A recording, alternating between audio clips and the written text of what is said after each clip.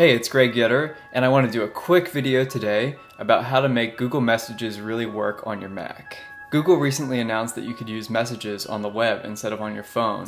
This is huge news because you've been able to do this on Macs and iPhones forever. Now, once you get an update to your Android Messages app, it's pretty easy to get it connected to the web client, but I want to show you a few things that'll make it an even better experience on a Mac, such as having a dedicated window just for messages so it's not distracting when you get a text in your browser and you're doing some other work. So the first thing you'll need is Google Chrome and all you have to do is go to the link that I'll put in the description to download the Google Chrome browser. Now, you don't have to use Google Chrome as your main browser or anything like this, but you will need Google Chrome to do what I'm going to show in this demo. So the first thing you're going to want to do is navigate to messages.android.com on your web browser and then also open up the Messages app on your phone you should see on the Android Messages webpage a QR code, and you'll want to follow the really quick instructions there. Basically, in the app, you click the little hamburger icon on the top right and click Messages for Web, and then click Scan QR code, and then you line up your phone with the QR code, and as you can see, it logs me in right away. Um, you'll also want to remember this computer, which you could have toggled in the previous step or just hit OK here, so that way it stays logged in whenever you come up. So already you can send text messages from your computer, but I want to show you something even more advanced, which is having your own dedicated window for Android messages. So I'm going to get out of here, and then I'm going to go down to my dock, and you see that I actually have uh, what looks to be a Mac app for Android messages. So if I click that, it will go to the Android messages website. Now, I put together a guide on how to enable the application shortcuts feature of Google Chrome on Mac. This is something that is available on Windows as far as I know, and you can also get it on Mac, but you have to tweak some of the Chrome settings. And what that allows you to do is create dedicated web applications that don't have the URL bar or anything at the top, so it's dedicated to that. And you'll also see if you go up to the top bar of the Mac that it actually has the name of the app up there. And when you use Command Q, which is the quit application shortcut on Mac, it will actually exit out of the Messages app without getting out of Chrome. You can also see that I have some other apps um, where I've done the same thing, such as Google Contacts and Gmail Inbox, or Inbox by Google. And it's nice because I like to be able to go into these apps dedicated and have them kind of in their own window instead of having them share the tabs with Chrome.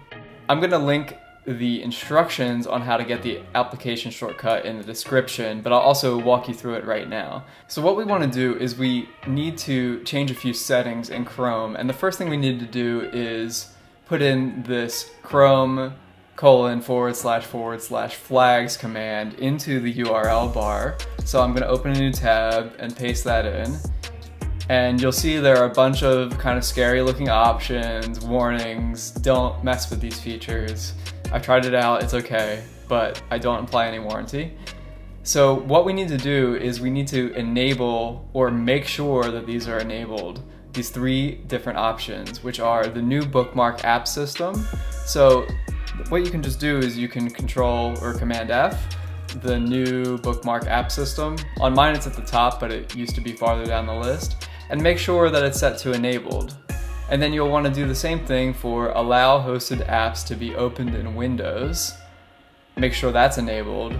And then you'll want to make sure that creation of app shims for hosted apps on Mac is enabled. So I'm going to command F to find the creation of app shims and you can see it's enabled. I believe this one was enabled by default for me, but just check it out and make sure it's not set to default or disabled. Okay, so once you've got that, now you need to restart the Chrome browser. I already have these features enabled, so I'm not going to restart, but you have to completely quit. So you have to use the command Command Q or go to Chrome at the top and quit Google Chrome. Exiting out of the window won't quit Chrome.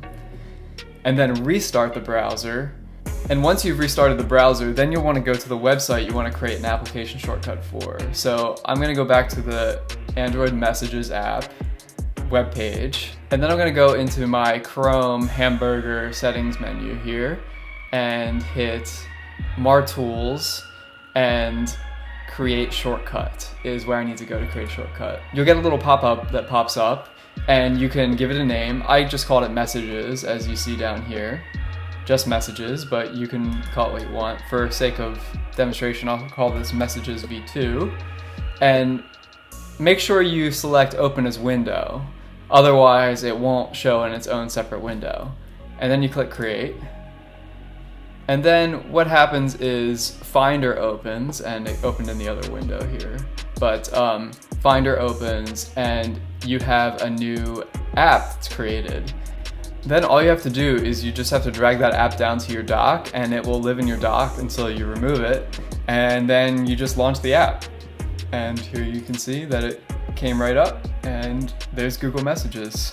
The other thing you might have noticed is that I have a dark mode enabled for my app. In general, I like dark modes better because they're easier to see at night and uh, I just don't like fussing with it and I think they look kind of cool. So to get the dark mode, you'll want to go to settings in Android messages and then you'll want to enable the dark theme. Make sure that's switched on and if you don't like the dark theme, you can always go back and turn it off by clicking off. So that's a really quick overview about how to make Android messages better on the Mac. I hope you enjoyed it. If you have any questions or comments, I'd love to hear from you in the comments, and I will see you next time.